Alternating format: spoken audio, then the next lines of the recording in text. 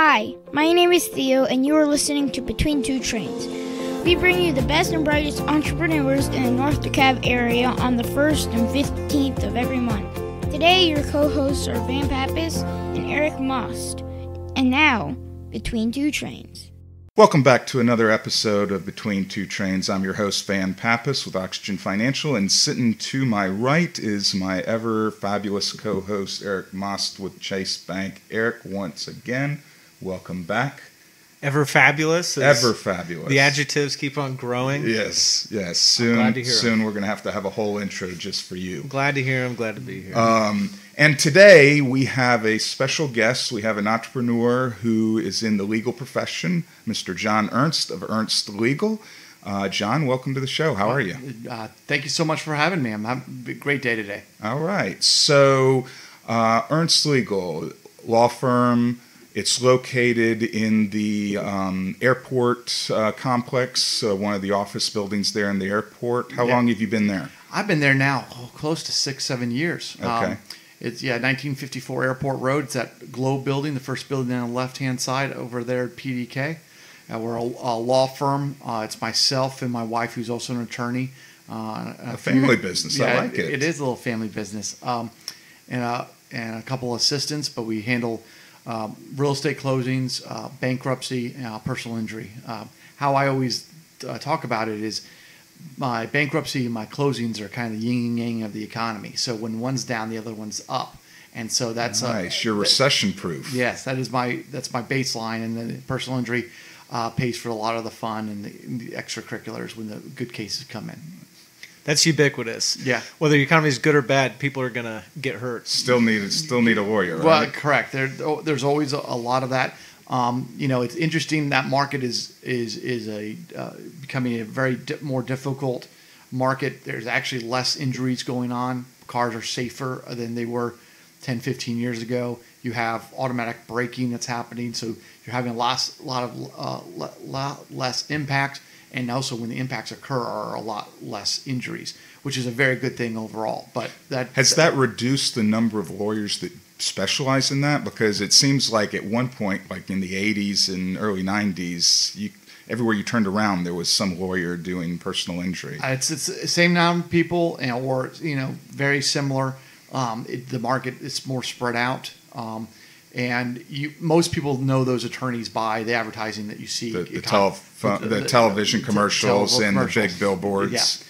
Um, John Foy, the strong arm of the law. correct. And maybe are- we shouldn't have said his comparator. No, but it, you know it's um, you know, and that's all marketing. All those names, one call, one that all strong arm. Those are not owned by those attorneys. Those are Really? they pay for those uh, monikers with a marketing company. Uh, that they pay a, a, a licensing agreement. So you'll go to different areas. If you drive or you know go down to Florida, you'll hear a one call that's all person With someone else. with someone else, or a strong arm with someone else. So it's almost like you have a territory with those monikers. Correct. And so That's interesting. Eric, did you know that? I did not I know didn't know that. that. Yes. And I thought I knew everything about business. No, so that that um, so that's you know those uh, you know the numbers are what the numbers are, and so um, it's very interesting on the marketing side on personal injury. It you have to spend about as much as the top uh, attorney does to break in the market.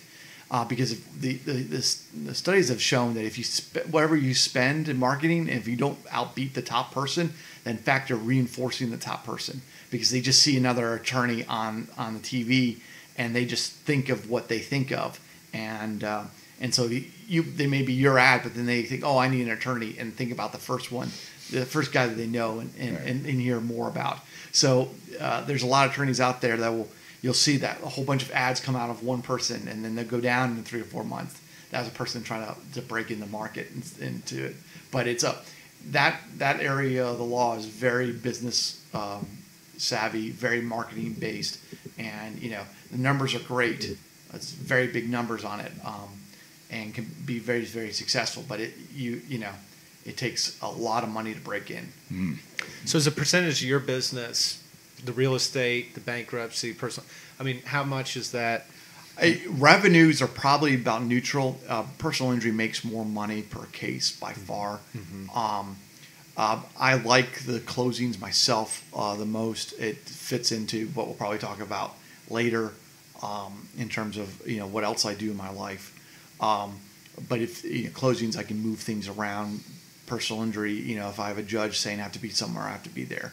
Um, so You it- can, from a, you're talking about from a scheduling standpoint, you have more freedom with the Yes. with the uh, closings. Yes, and and and my you know my knowledge base in terms of all the different aspects of real estate have has been was there already, but you know I, obviously with my other job, you know I can market myself in the um, as a lawyer in different ways that can you know I have a lot more knowledge base on what's going on in, in, around in this region.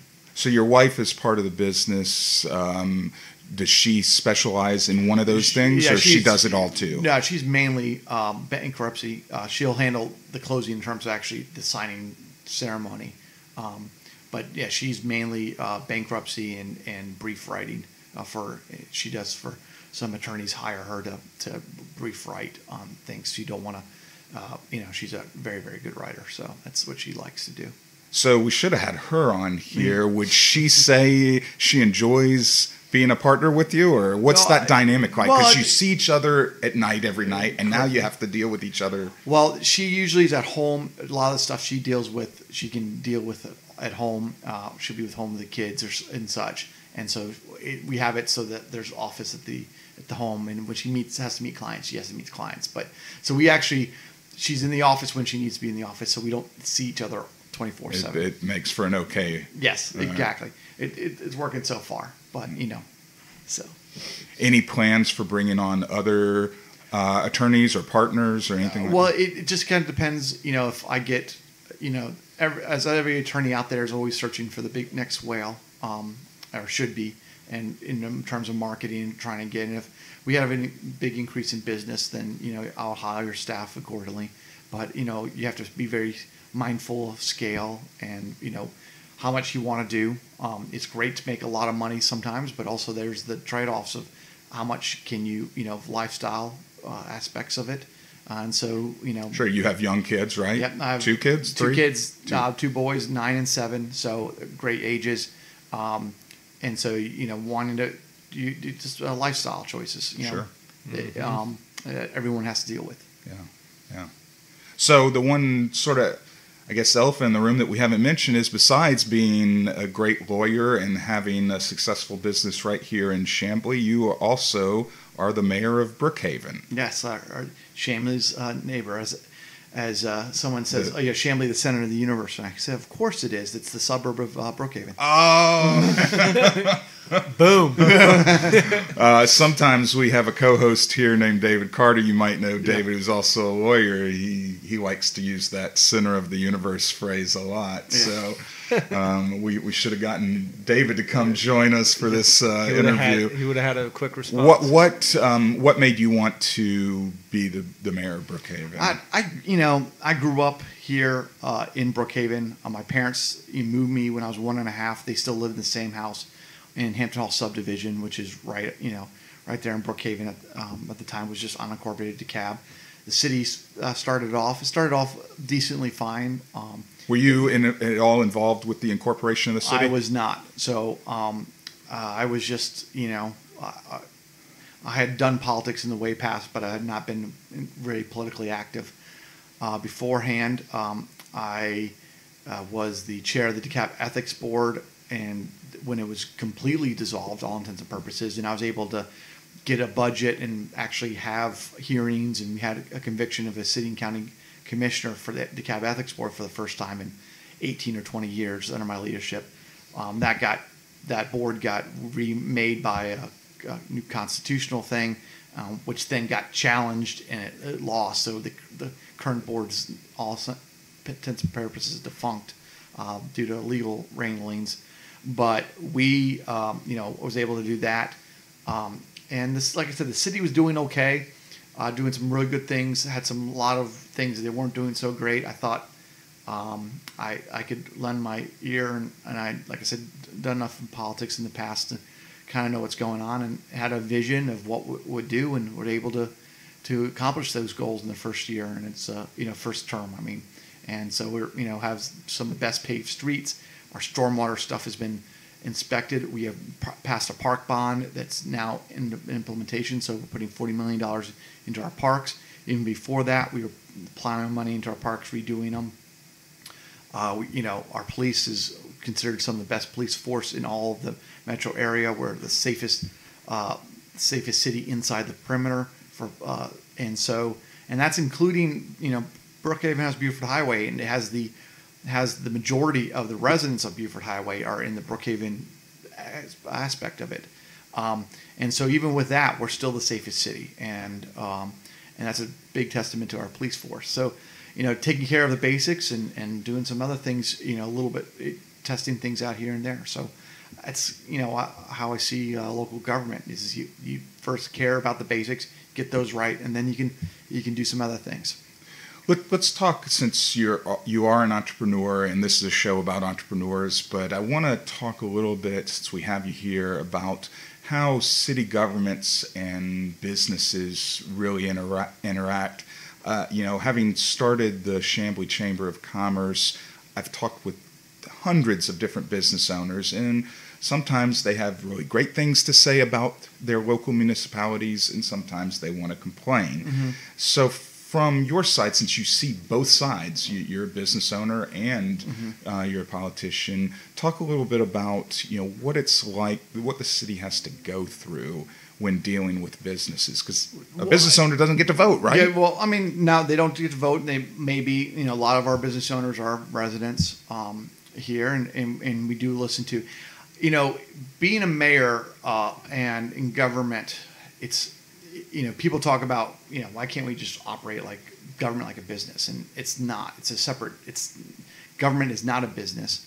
Um, it is a it, it is a uh, societal construct. Um, because a business's job is to, is to raise revenues and make money.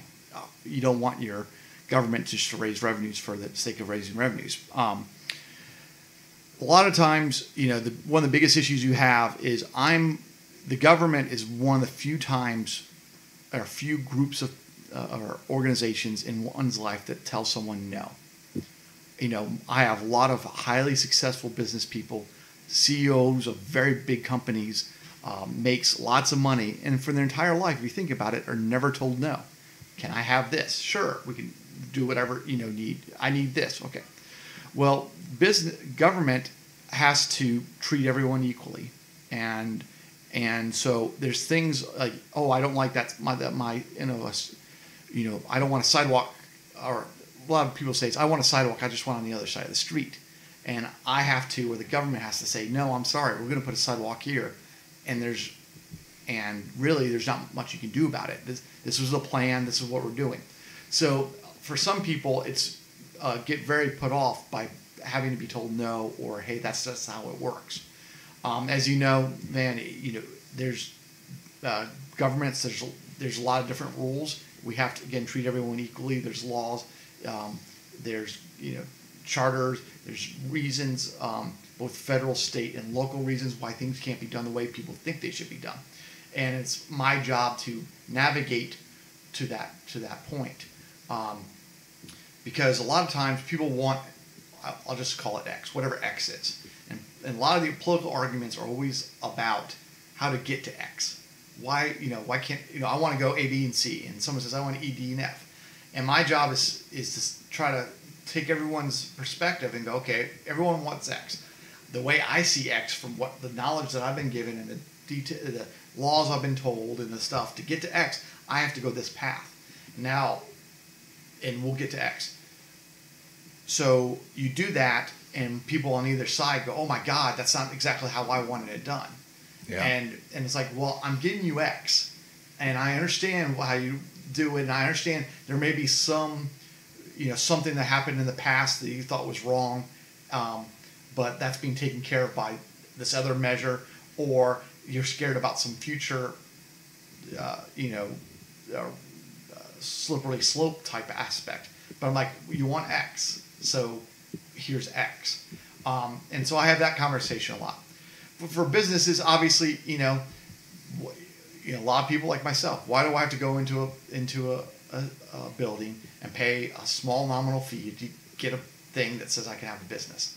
I mean, the, most people are like that shouldn't be the case. A business license. Yeah, business license. Yeah, why do I have to have a business license? Right. Well, you do, and and people get pissy that they have to get a business license, or um, there people get mad because you know they buy a building and you know the life safety stuff is not in the building. It's an older building. You have It's to not rehab- up to code. Not up to code. So you have to rehab that, and that's is a pretty penny, and that's government telling them someone you just have to drop hundred thousand dollars they didn't expect to uh, on a building and you know and such, or um, you build a new building and you get upset that you uh, for stormwater.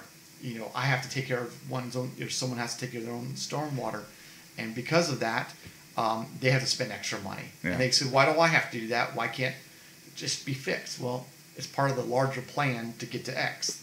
For stormwater, it's so that we have less flooding, um, you know, more usable land, uh, better nature, uh, uh, to uh, energize our aquifers for later um, droughts that could ha- happen in the future. So, you know, there's all part of the bigger plan, but for an individual person, they have to spend the money or being told no, they can't do it that way, and people get, you know, people don't like to be told no.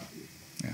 Is it in, is it intimidating uh, to some degree, dealing with the wide spectrum of types of individuals with the diff- different levels of wealth that you see, and perhaps you know, I don't know if intimidating is necessarily the word. It just you have to kind of understand everyone's perspectives and try to get as quick as you do to their perspectives. Because, like I said, almost eighty-five to ninety percent of the people want the exact same thing. They want X, whatever X is, but they have a different perspective on it, and and and a lot of times people in these days use a Republican Democrat thing, and I say this all the time. You know, I, I have a political party I prefer, like everyone else in the world, but a pothole is not a Democratic pothole or Republican pothole. It's just a pothole. You just fix it.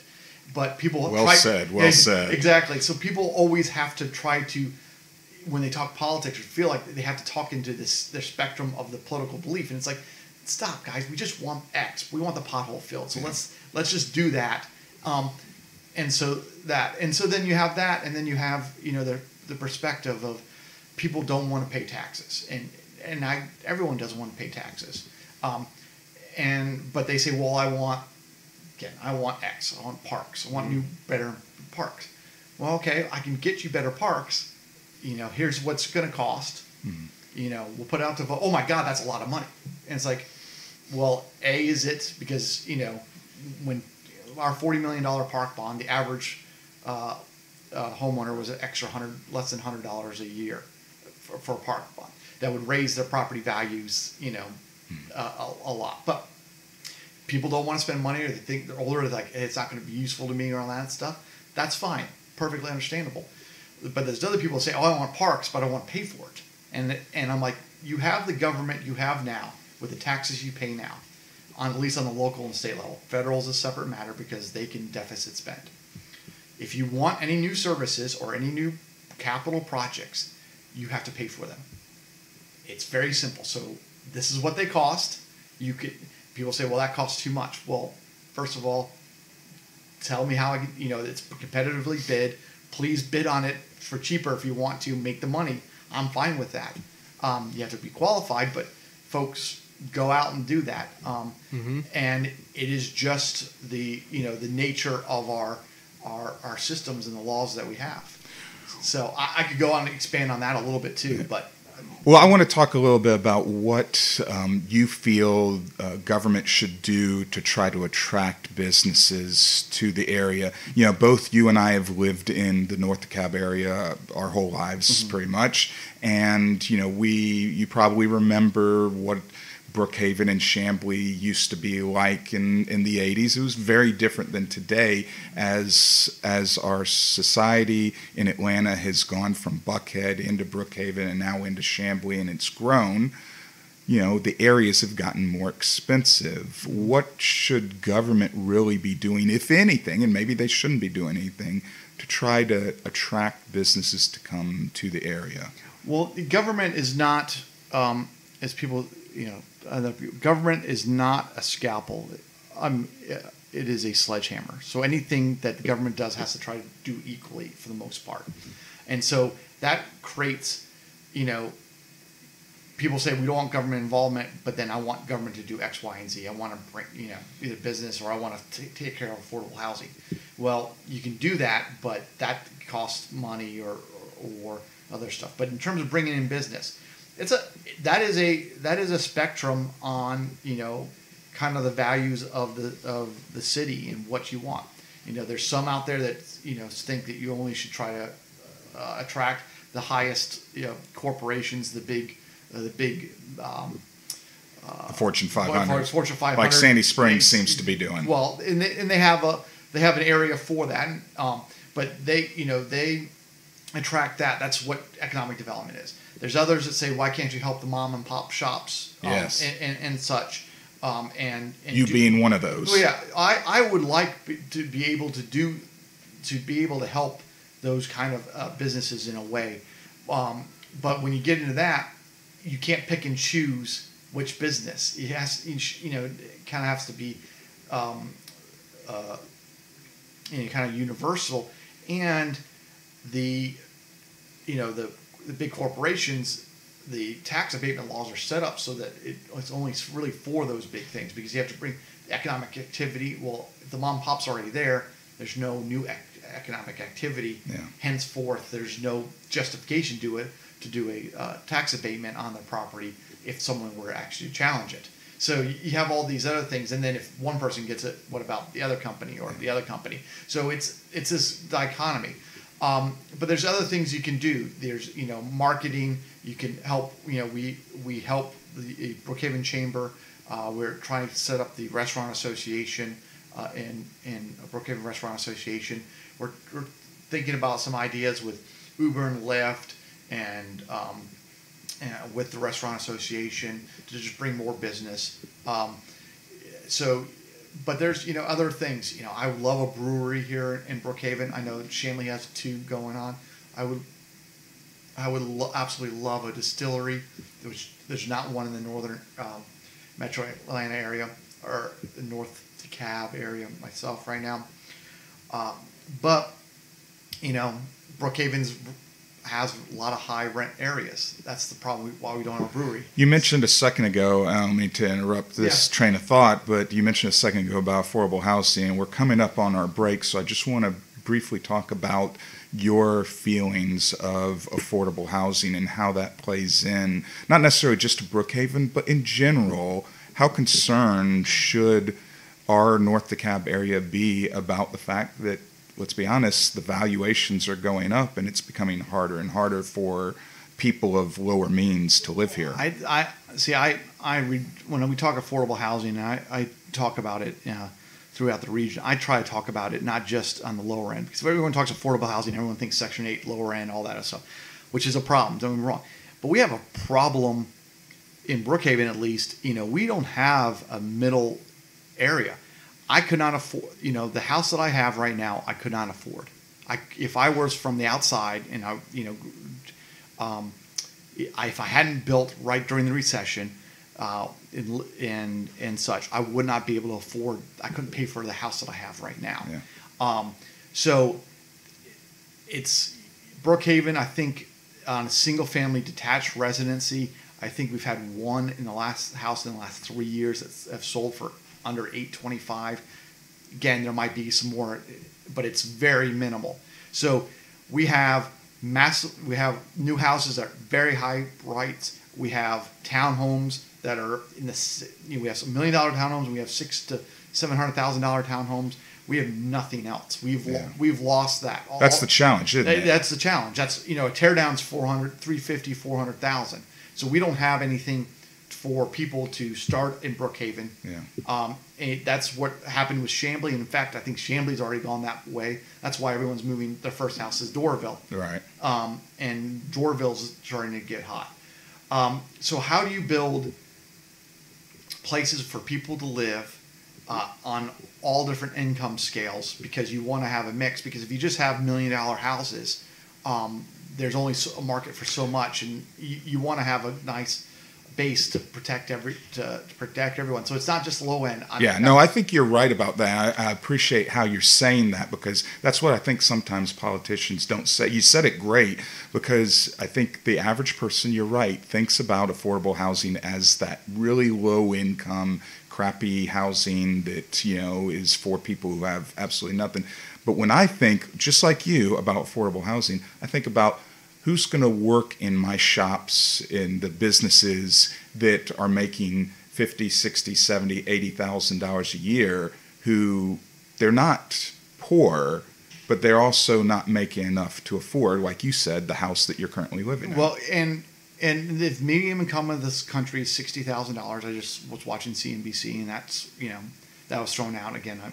Um, and you know what in Brookhaven could someone buy at sixty thousand dollars? And the answer is nothing. yeah Um, and and that's a shame because that's where wealth, you know, generational wealth gathering has it occurs. It's always been in housing prices, and you can talk about, uh, you know, the red line areas and all that other stuff um, uh, with African American experience, um, and that's why they haven't had the wealth gains that the the, the the other immigrant populations of our of our country have had um, because of those systematic uh, problems. Um, but you know, I think those have gone away as a long term. So how do you get people in? So, so going back, if sixty thousand dollars can't live in Brookhaven, but they want to work in Brookhaven or Chamblee or right around here, they're those employing bases. They have to live far out. yeah Well, now to you got a transportation problem then you have a transportation problem because we're having what you know what I call the the, the uh, impending uh, physics doom of transportation, i.e., we cannot we pay for transportation, we cannot keep people on cars, single-use cars, traveling one dr- from A to B. That is physically physics is going to take control there Yeah. and say it's impossible. So. Um, uh, so you have a transport you have a transportation traffic problem that's caused by people having to move these uh, further and further out to afford stuff. So you have to have that mix so that people will can live here, work in and around here, and you don't have the transportation traffic problems. That's where the Brookhaven MARTA stop really is an asset for the community. Oh, Well- yeah, the, the, the bar, we are. Let's talk about that after because we're up at uh, our wall the for the break. Yeah, We got a we got we got to uh, take our short break where we uh, hear from our wonderful sponsor sponsor here at 3411 Co-working, and we'll be right back to continue this conversation with business owner, entrepreneur, and mayor John Ernst. Looking for an affordable, functional, and creative space to work? Check out 3411 Co-working in downtown Chamblee. They have flexible month-to-month office space options that include fiber internet, meeting rooms, printing, coffee, snacks, and networking events. 3411 Co-working is the perfect place for entrepreneurs, remote workers, and small business owners looking for a one-stop shop for your professional needs. Stop by for a tour Monday through Friday from 9 to 5 and see how 3411 Co-working can work for you. Welcome back to Between Two Trains. You can hear us on the 1st and the 15th of every month. Today we're talking with entrepreneur, business owner, mayor John Ernst. And um, we are at our hot or not section. So, Eric, take it away. So, something that all our listeners can uh, probably agree with that traffic in Atlanta is not hot. So, let's just go ahead and uh, jump right in about traffic. I mentioned for both Chamblee, Doraville, and Brookhaven communities we've all talked about, MARTA is a huge asset. Um, Atlanta is trying to build their way out of the traffic issue with 75 express lanes, 85 express lanes. There's stuff going on with 285. But for the communities in between, let's talk about that. Okay. Well, no, I, um, you know, Is the hot or not uh, MARTA No, I, stations? I already already answered the Okay. question. Traffic is not hot. Traffic is not, hot. it. Okay. So how do we Can we? we all three agree Yes, traffic traffic is is not not hot? So how do we? So, so I can go into lots of details on this. So I'm I'm the chair of the six mayors, the top end mayors. So from Smyrna, Brave Stadium to Doraville, and including Tucker, uh, to talk about trains along the top end. Um, and we uh, looked at that itself. Um, so I've done, I've been doing that, and I'll go into details there. I'm also on the DeKalb stakeholders for the transportation plan that was just released for uh, for um, County. So basically, what I was saying before, we're running into a physics problem. Physically, we cannot um, continue to use single family cars in infinitum to move our people to the stuff. You can't. Um, you have to have some transportation options. You have to have transportation options that are reliable that people you will use on all income brackets. Um, for those to be feasible, you have to have you almost have to have density because people will then use it, um, and that is. But of course, a lot of folks don't want density. They want to have exactly the way it is now. Usually the statement is, "Oh, you're bringing in more density. That means more traffic." Correct, and the, and and that could be the case. But if it's built along TODs, the the traffic impact of that extra density is is mitigated. There's still Just for our listeners, a TOD is. Uh, transit oriented development. thank you. Um, and so I've looked at this thing all along. Uh, Atlanta, I think it's changing. Atlanta has had um, this this mindset of basically that MARTA got its penny 40 years ago. It built heavy rail and built a bus system, all intents and purposes. Um, the heavy rail is very limited to where it goes. Um, anytime I can use the heavy rail, I do. I go to Braves games. I'm sorry, not Braves games. I go to Atlanta United games. I go to Hawks games. I'm season ticket to both. I go to the airport. If I have a meeting down in Midtown, I'll take MARTA any every time because I know once the doors close, I'm going to get to a certain point at a certain time, no matter what. I don't have to worry about traffic and such. But as most people say, is well, MARTA doesn't go everywhere. I don't. I don't need to go Midtown or wherever. I need to go Yeah. Y, Z. Or, or like you mentioned, the Braves. The you Braves. can't go to the The Braves, right, now. And so that's actually what happened is everyone had talked about, you know, I was sitting there and I was like, everyone's talking about, you know, transportation to east to west to get to the Bra- or get to the Brave Stadium, and I go, interesting, huh? The you know the closest MARTA station to the Brave Stadium is either Medical Center or Dunwoody. It's not this you know Arts Center, which is down in Midtown, Yeah. which everyone had always assumed would be the connection. It's it's it's closer to where we are. So us mayors can come get in, let's everyone get in a room. That's three counties. It's never been done before. Cross jurisdictional. That much coming together and say, okay, how do we put transit? Everyone says, well, we want heavy rail or light rail, or let, let's do, you know, I think very quickly, uh, light rail was, we would take investigate that. Um, but we also said because they're building the top end 285, Revive 285, the managed lanes, you know, this is the time to get that transit corridor. It turns out, you know, that was in the initial Revive 285 to do a transit corridor. There was no big sponsor for it. No one championed it. Uh, to go now, it's an extra billion and a half dollars just to get the the the uh, right of way right. to get the light rail, um, and then heavy rail costs four uh, four hundred fifty million dollars a mile. Light rail costs two hundred fifty million dollars a mile, and a what is called BRT, which is something that Atlanta area does not have does not know it has. It does have it. I'll explain in a second. Uh, is an option that's cost twenty five million dollars a mile, and so we all the mayor sat around and said, That's "Hold- a no-brainer. This is a no-brainer. GDOT's spending the four million dollars, four and a half million, four and a half billion dollars for these managed lanes. Why don't we write off of these managed lanes and put transit stations on uh, that they're on own dedicated on offs, uh, put it around, get to the Braves, get to Doraville, uh, have flyover bridges were ne- needed and such. The right of way is not as much, uh, and you're talking about ha- half uh, five hundred million dollars. That's literally one mile of heavy rail. We could build this entire system.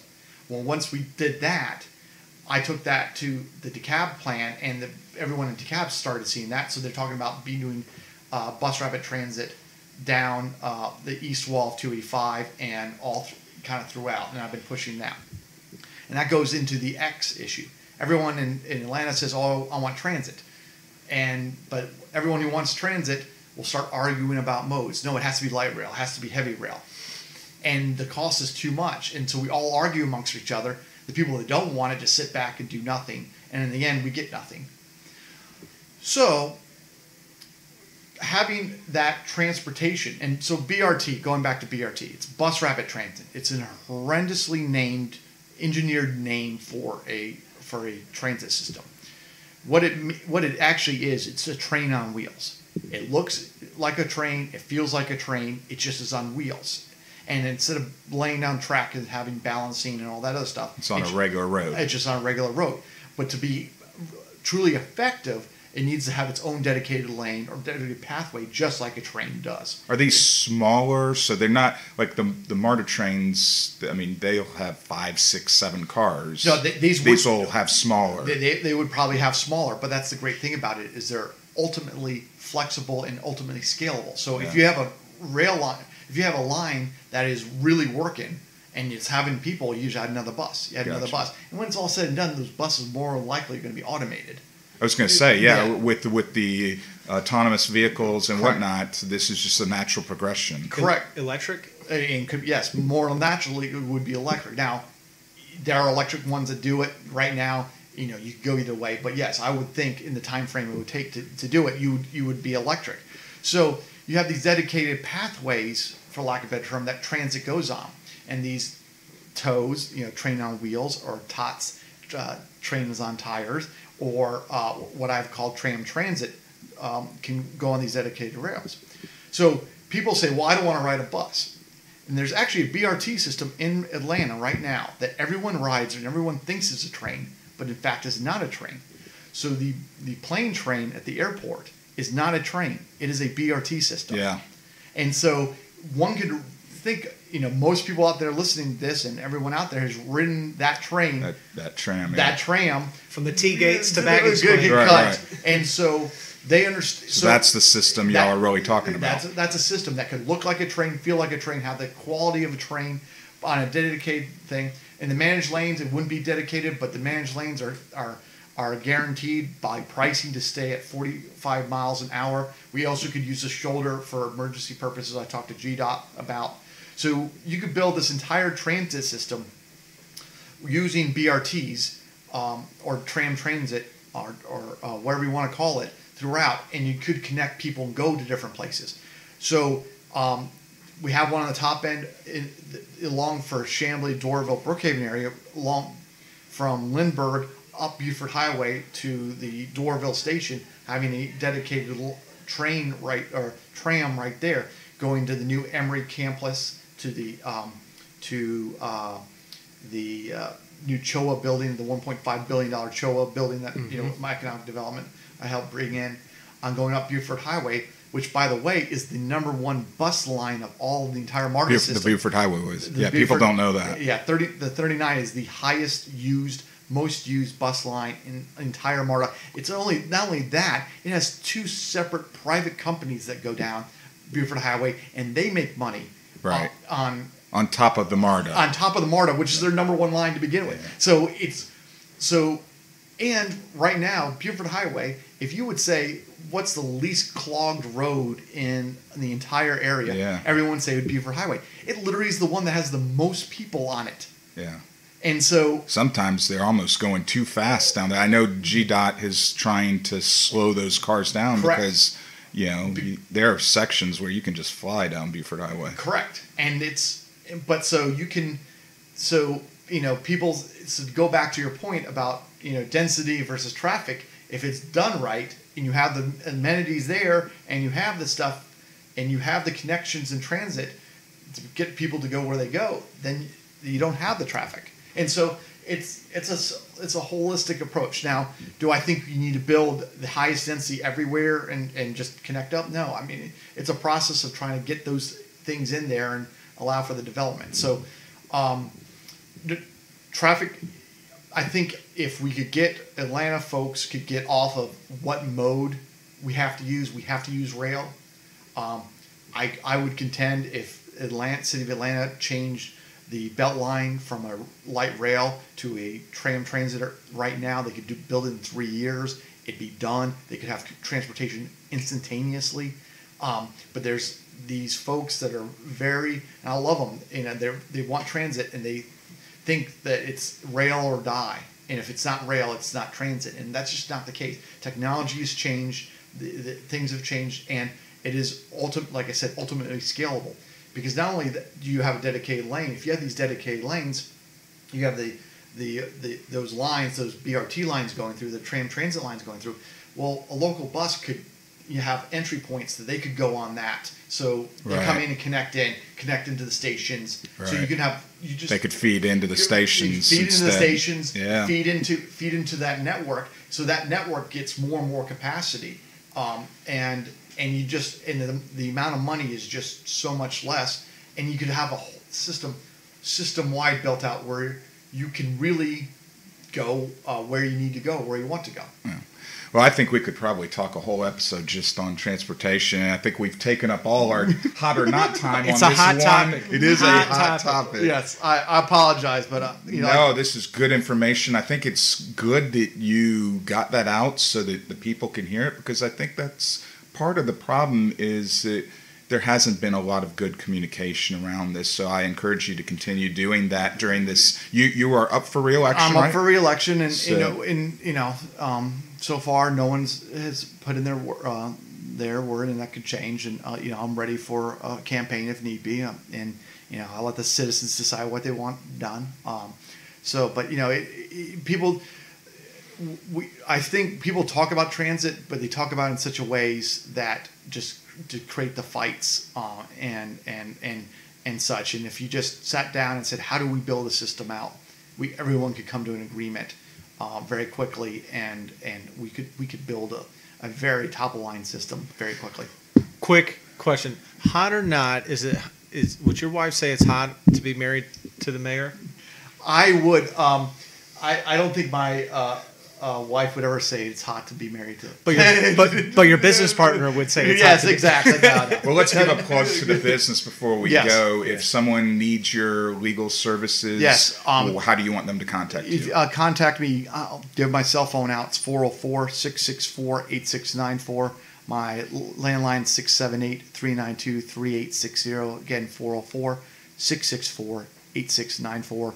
678 392 3860. Folks out there that are buying and selling a house, um, love, you know, if you want me to handle your closing, make sure that you get the property and, and everything's handled correctly, please let me know, especially those investors out there, uh, especially those uh, first time home buyers.